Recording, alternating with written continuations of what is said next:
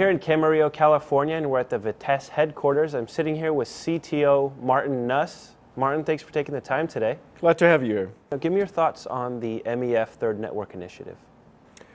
The MEF, the Metro Ethernet Forum, um, CE Carrier Ethernet 2.0 specifications, really now the standard specifications on how carrier Ethernet services are being delivered to customers, how they're specified, what their characteristics is.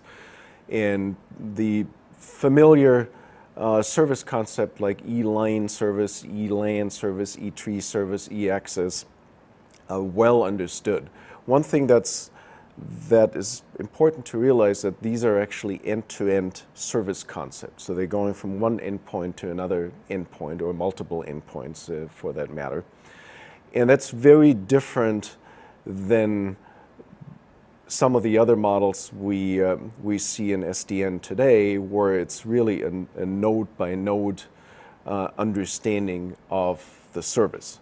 And so I think the MEF is in, in, in, a fantastic position right now because at the end of the day, what the service providers are, are interested in is delivering an end-to-end service. They are not necessarily interested in how it's being forwarded on a, on a hop-by-hop basis.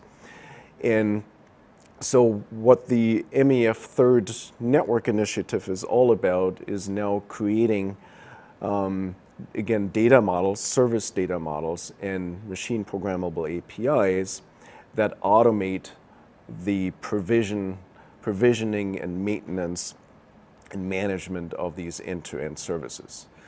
And so we've actually at Vitesse already done a lot of that work in creating APIs uh, like netconf and, and JSON RPC that can program these MEF services end to end. And uh, we're very excited now that the, that the MEF started the Third Network Initiative to contribute to that and really um, get an, a, a common and open definition of these service data models and APIs as part of the Third Network Initiative. Um, this all sounds very SDN centric, uh, but actually there's an NFV play as well.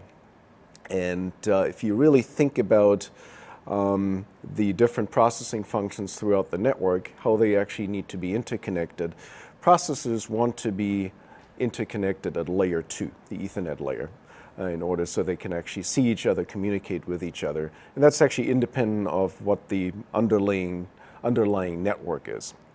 Uh, so using MEF layer two service co concepts to interconnect processors is actually probably a really, really good way to operationalize NFV in a service provider environment. And we're really excited to see how we can drive that uh, in the MEF as part of the third network initiative and make MEF much bigger than just delivering Ethernet services to customers. Okay, now tell me, what is Vitesse doing to help support the emergence of SDN and NFV?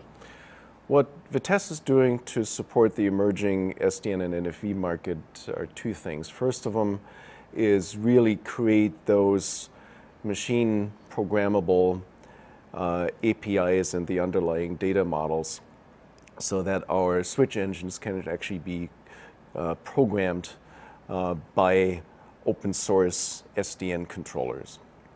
Uh, that actually work is largely completed or, or underway.